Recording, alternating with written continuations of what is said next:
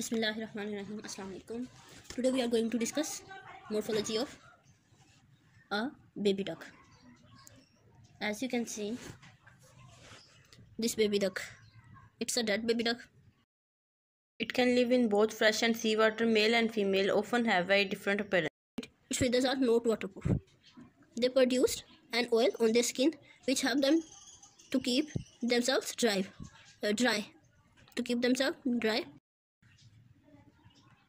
it has a head, neck, and a trunk. Trunk is divisible into thorax and abdomen. Head consists of a pair of eyes, one on each side of the head. It has a big beak, chunch, bill.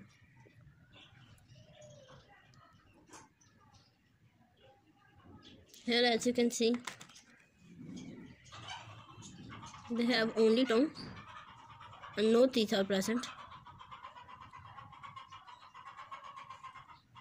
These two little openings or holes. These are called nostrils.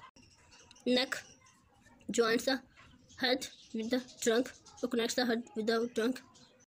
Trunk consists of thorax and abdomen. These are the forelimbs. This forelimb while this is the hind limbs. It has two legs or hind limbs. Each leg has a foot, webbed foot. This is a webbed foot. As you can see, it's a webbed foot. Thank you.